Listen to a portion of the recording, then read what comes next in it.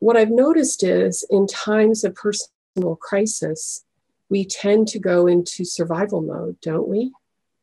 And when we're in survival mode, we don't necessarily practice the things that we normally do that keep us connected, attuned to the invisible.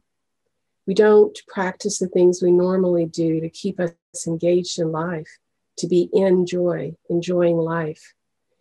So we have to be more conscious when, when we're in crisis and personally, and also feeling the crises in the world.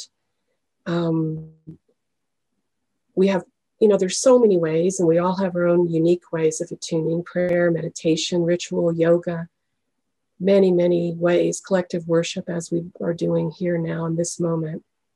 But whatever it is to lift ourselves back up.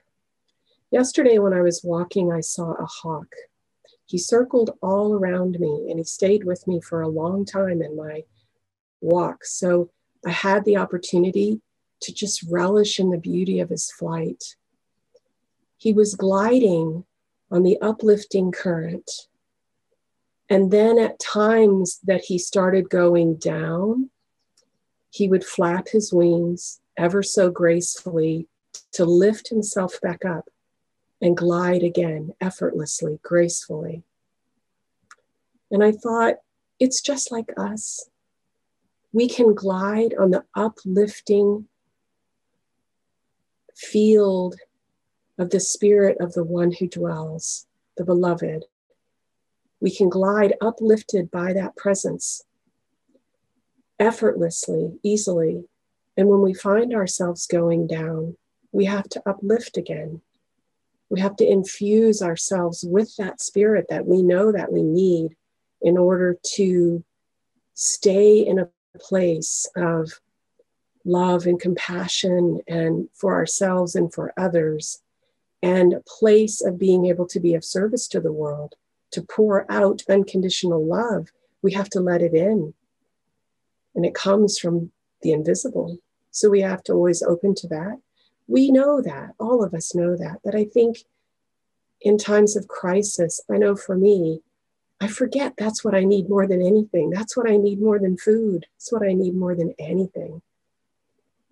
And then to surrender and let go, as the saying says, let go and let God, to place whatever's happening for us on the altar, if you will. Um, knowing that there are many things we don't know and don't understand, but we are held in the arms of the beloved all the time.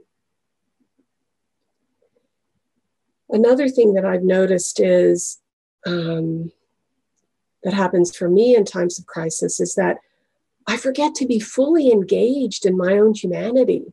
So deeply connected to the divine, but also fully, fully engaged in my own humanity, the beauty and wonder of having a human body, to enjoy the, the we are surrounded always with wonder and awe, peace and love, to take it all in and to fully enjoy that, to walk in the sunshine, to listen to the birds singing,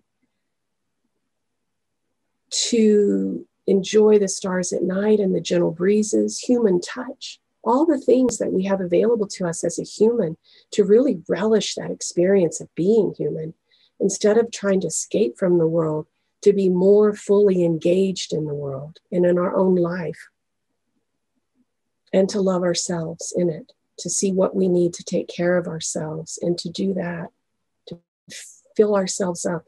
What feeds you? Do that.